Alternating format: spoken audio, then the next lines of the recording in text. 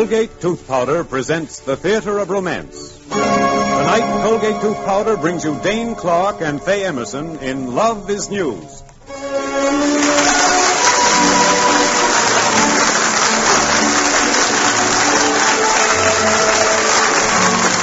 Tonight and every Tuesday night, Colgate Tooth Powder brings you the theater of romance with your favorite stars and your favorite stories and plays. Use Colgate tooth powder. Keep smiling just right. Use it each morning and use it at night. And now, tonight's presentation, Love is News, starring Dane Clark as Steve Layton and Faye Emerson as Tony Gateson.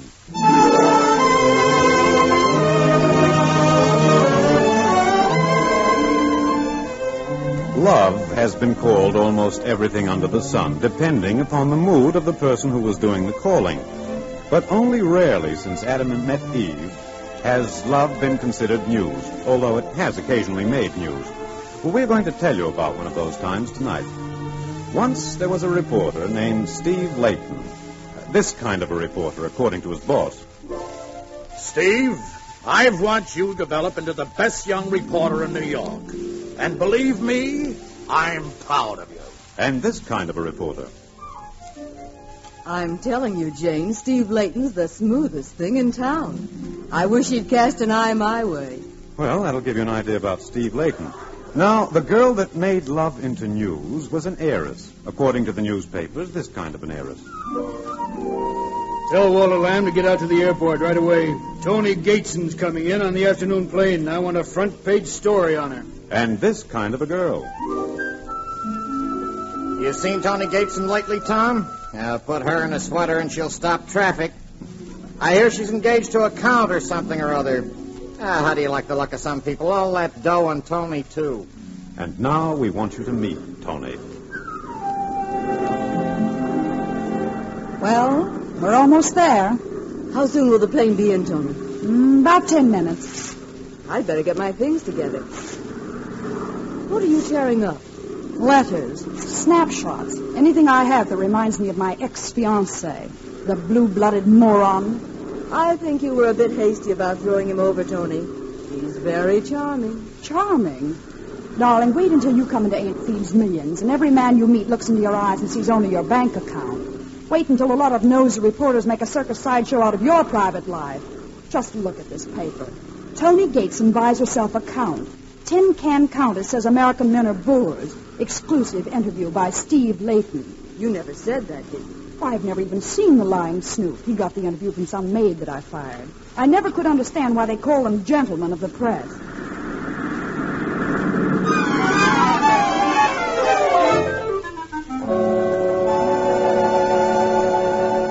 Uh, Miss Gateson? Yes?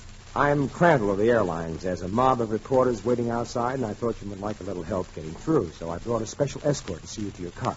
Oh, thank you. That's very kind of you. If I may suggest, Miss Gateson, how about sending your friend out with the police? The reporters will think it's you, and then you can get away by yourself. Oh, that's a wonderful idea. Will you do it, Lois? Sure, Tony. Uh, pull the hat down over your eyes and turn your coat collar up, and that'll do it. I'll meet you out at Uncle Frank's house, honey. Okay, see you later, Tony. Uh, we'll just stay here in the plane until she has time to get through, and then we'll go. The reporters will be so busy chasing her, they won't even notice you, Miss Gates. Oh, that's very kind of you. And most thoughtful. Oh, not at all, not at all. Reporters cause us no end of trouble. They're always annoying our passengers, especially if they happen to be celebrities like yourself. You're not going to ask for my autograph, are you? no, no, but I'll I'll take a cigarette if you have one handy. Sure. Thank you. Thank you. I think I'll save this for my grandchildren as a souvenir of the beautiful Countess de Guillaume. Well, if that's what you're saving it for, have a light. I've uh, been reading about you and the Count in the papers. The Count? Let me tell you a few things about counts. Wow. I don't blame you for calling off the wedding. And the next man who puts a ring on this finger will have an American title like plumber, bricklayer, or motorman. Tony? Tony? What's the matter, Lois? You know who this man is. He's that Steve Layton, the reporter. And judging by the smirk on his face, he's tricked you into telling him plenty. Young, young lady, let me congratulate you on your excellent judgment of smirks. So, you're Steve Layton. Mm-hmm. It's getting a little chilly in here. Thank you, Miss Gason, for the cigarette and a most pleasant chat. You aren't going to print all that. I'll send you a copy. I wonder how you'd like to be hounded by a mob of peeping toms. How would you like being a public freak? Me, lady, if I had your money, they could put a press box at the keyhole of my front door. So long, Miss Gason. I'll see you around. Oh, What a dirty trick. oh, I'll fix that Steve Layton. I'll make that interview the sorriest story of his life. Are those reporters still out there, Lois? They sure are. Well, call them in.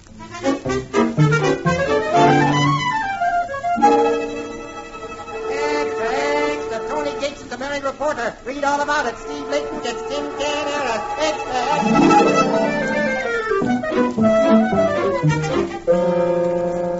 Good evening, everybody. Is that you, Layton? Good evening, Mr. Canavan. Did you like the Gateson story? Did I like the Gateson story, he says. No, I didn't like the Gateson story. What do you mean by, by phoning in a phony story about Gateson and that count?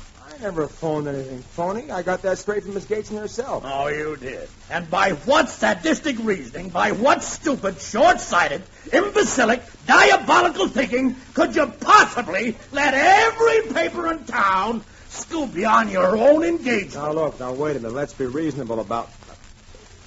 My what? Uh, maybe you'd like to read all about it in the Globe, or maybe the Times, or the Mirror, or the Herald, or even the Express. Give me that paper. Yeah. Stevekins, Layton. Lands hundred million dollar Tonikins. What in the name of... All right, read on, read on. Humble strive to marry Tony Gateson, the jokes Countess for Gio. I'll sue! Yeah. This is criminal libel. That little cookie just trying to pull a fast one to get even for getting that story out of her. Well, she's not going to get away with it. Here, wait a minute, where you going? I'm going to see a man about some arsenic. Well,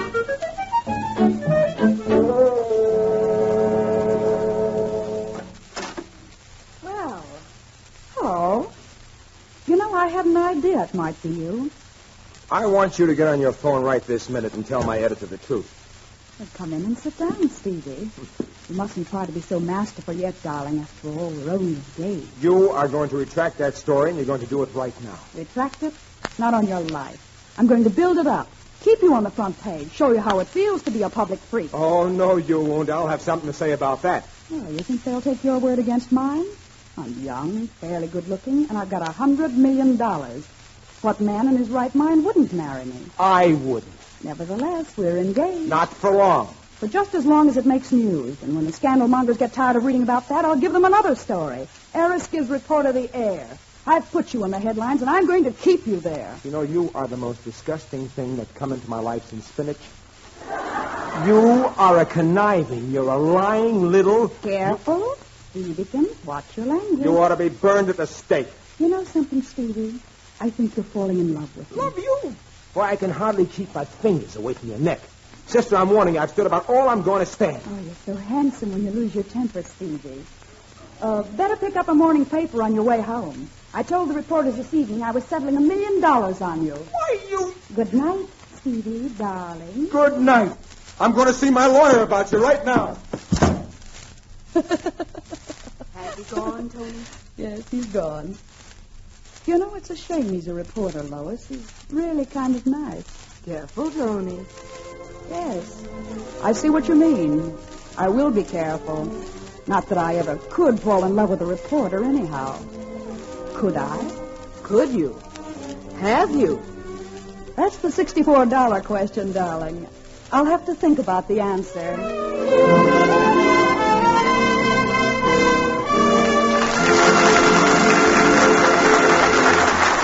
In just a moment, the Theater of Romance will bring you Act Two of Love is News. But first, young lady, remember this message from Colgate Tooth Powder. A telephone line is the shortest distance between dates. If your telephone is silent, maybe there's trouble on the line. But not the trouble you suspect. No, what keeps the boys from telephoning you for a date may be that little breath of trouble. I mean unpleasing breath.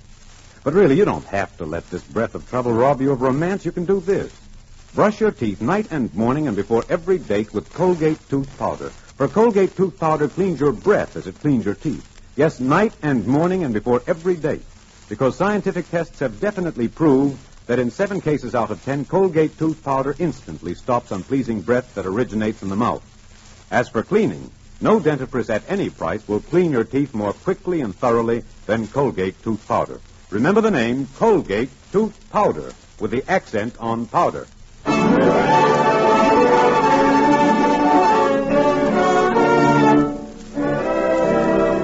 Colgate Tooth Powder brings you the second act of Love is News, starring Dane Clark as Steve Layton and Faye Emerson as Tony Gateson. Extra, extra. Tony Gateson settles million on penniless reporter. Uh, extra,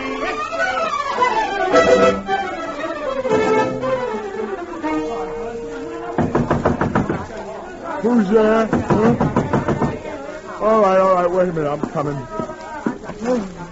I have an insurance policy here. They'll cover you for everything, Mr. Layton. Fire, accident, hurricane, floods, quintuplets, anything possible. Take a look at these samples, Mr. Layton. We make the finest suits money can buy. Wait you a minute, can will have you- a yacht, Mr. Layton. Only $200,000 in uh, 10 easy No, payments. no, wait a minute. No, I'm not interested. I'm not buying anything. Will you go away and let me sleep? It's the finest little car for the money that's ever been made, Mr. I Layton. don't want it. It's the best car at any price in the market. Latest thing No, in no, yachts. Chance of a no. lifetime. I think I'm going crazy. You're the man of the hour, Mr. Layton. The grandest thing to come along since chewing gum. You must be the happiest man in the world. And for a happy man, there's nothing like a little $200,000 uh-huh. yacht. It's the best car at any price. Latest thing in yachts. Chance I wish I was dead. Well, I have two alternatives murder or suicide.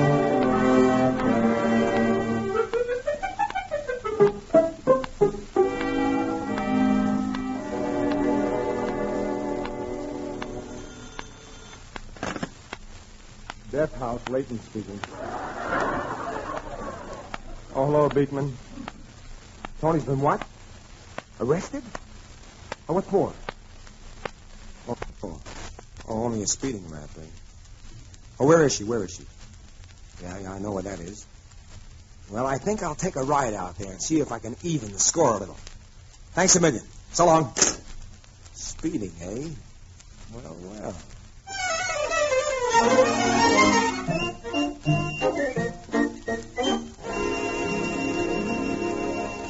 Oh, do you no good to talk to me, Mr. Layton. She's in jail, and she's going to stay there. But, Your Honor, do you happen to know that Miss Gateson is one of America's richest heiresses? Don't care who she is. She's staying two days in jail, and she's getting fined twenty-five dollars. She is the niece of Cyrus Nefri, the railroad king. Fifty dollars. The more you talk, the worse it'll be for her. Your Honor, her ancestors came over on the A Mayflower. hundred dollars. I'll take this to the Supreme Court. Oh, you will, eh?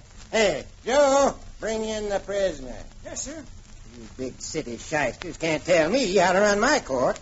She's going to get 30 days in jail. Who is? You are. Evening, Miss Gateson. Oh, but that's ridiculous. I don't care who you are, or who your uncle is, or what shipping line your ancestors founded. You'll get the same treatment as any other criminal. 30 days in jail. So long, Miss Gateson. You aren't going to let him walk out of here, are you, Judge? Why not? He hasn't done anything.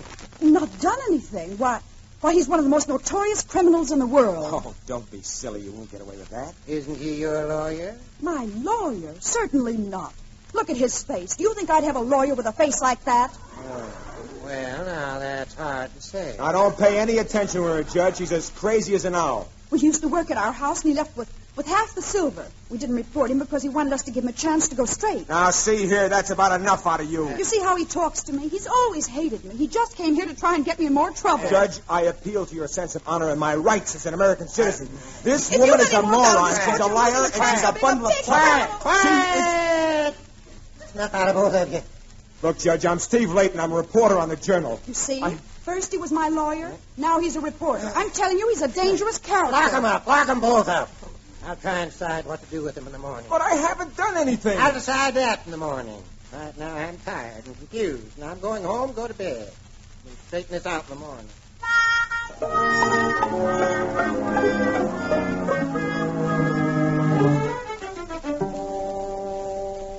If I had the wings of an angel, over these prison walls I would fly.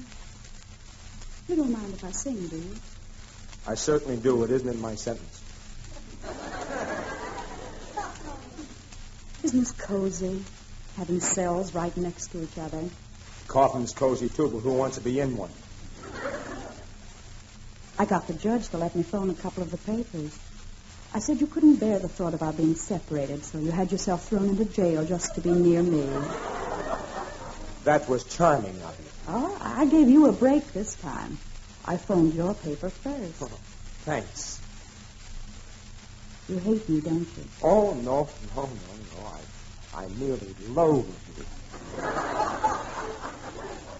It's too bad we had to be enemies. We might have made a lovely couple. Not us. I never do my slumming on Park Avenue. You're contemptible. Well, you're no prize package yourself. All right, you can both go home. Home?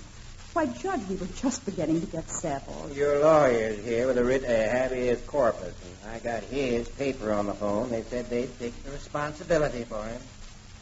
Oh. Why'd you tell me he was a criminal? Yeah, go ahead, answer that one. Well, I'll tell you very honestly, Judge. I just wanted to be near him. You see, I'm in love with him, and I thought I might have a chance to convince him of the fact. Suffering catfish, here we go again. I ought to charge you two for using jail for courting purposes, but I'll let you off this time. Oh, thank you, Judge. Can I give you a lift home, Steve? No, thanks. I have my car. Well, I'll be seeing you. Not if I can help it, sister. And, uh, by the way, I wouldn't go any further with this little marriage gag if I were you. Why not? Because I am marrying someone else in the morning, and you don't want to look any sillier than you're going to look, do you? You're not. No, I'll read about it in the papers. I'm sure they'll have all the details. Everything I do seems to be news now. Goodbye, Miss Gateson, and don't think it's been pleasant. Oh, Steve. Steve, isn't there anything I could do to help make up? Yes, there certainly is. Stay away from me. You've made me the laughing stock of the paper, the town, and the whole country. And having achieved that, you ought to retire into your smug satisfaction. Now, as far as I'm concerned, I never want to see you again. Do I have to make it any clearer? Certainly not. You've made it perfectly clear.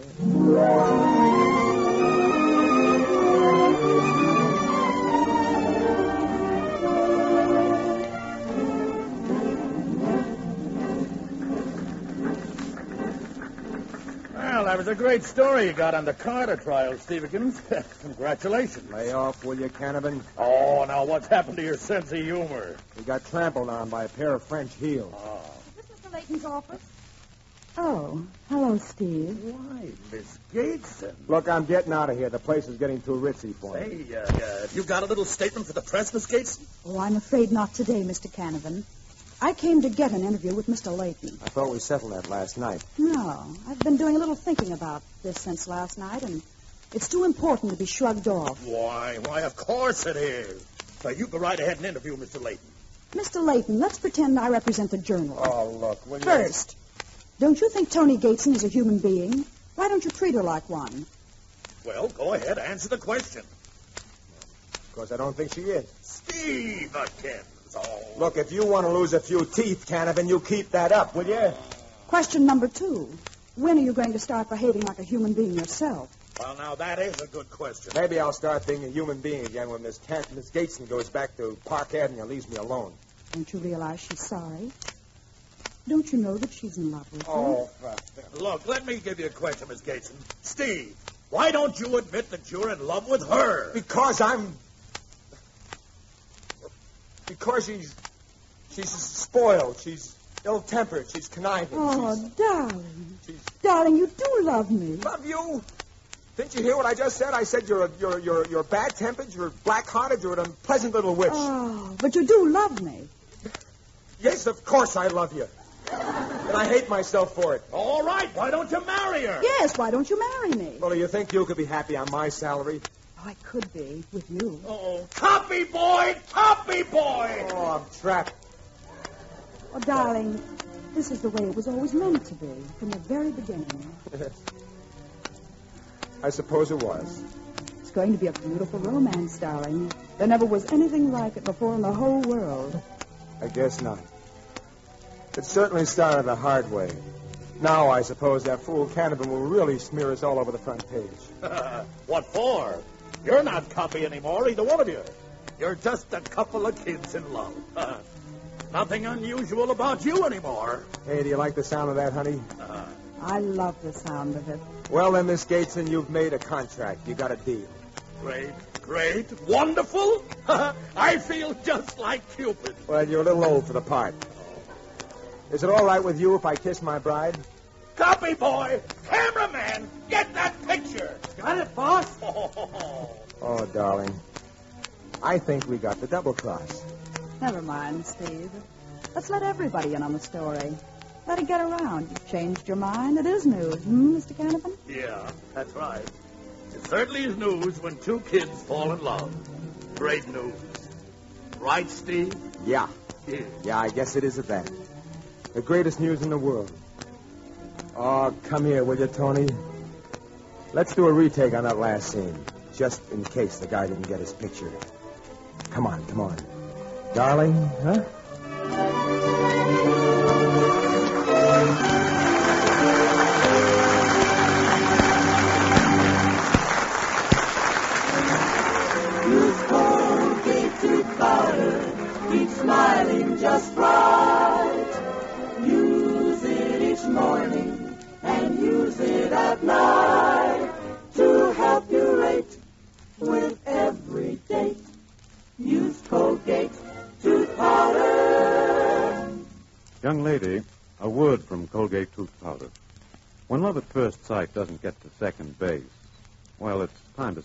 Reason.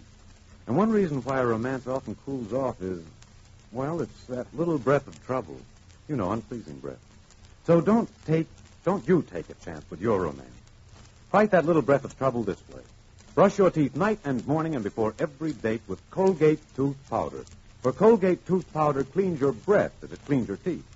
Scientific tests prove that Colgate Tooth Powder, in seven cases out of ten, instantly stops unpleasing breath that originates in the mouth.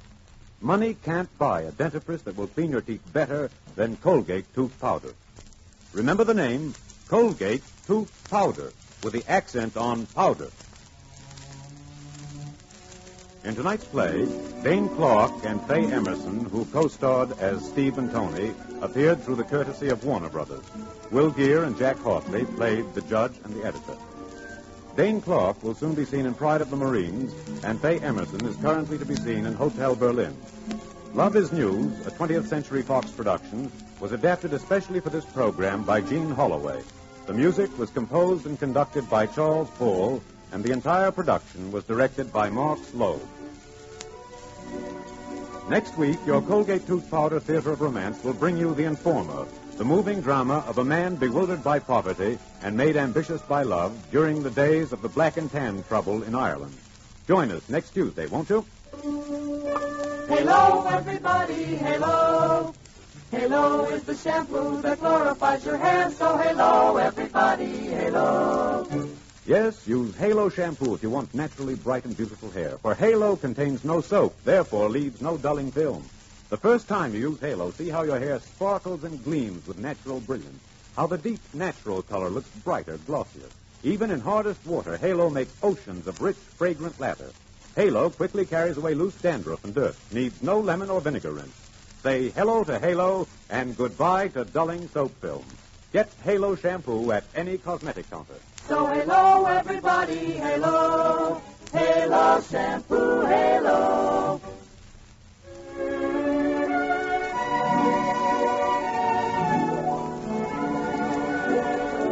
Until next Tuesday night, when Colgate Tooth Powder's Theater of Romance brings you The Informer, this is your host saying good night and wishing you love, happiness, and romance.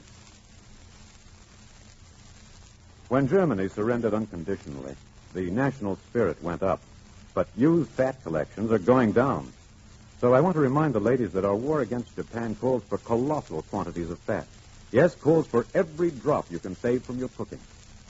It's needed for scores of vital war supplies, medicines, and soaps for military and home use. So, save as you never saved before. Your butcher will give you two red points plus four cents for every pound you turn in. If you live in a rural community or your regular meat dealer does not accept used fat, call your home demonstration agent immediately. This is CBS, the Columbia Broadcasting System.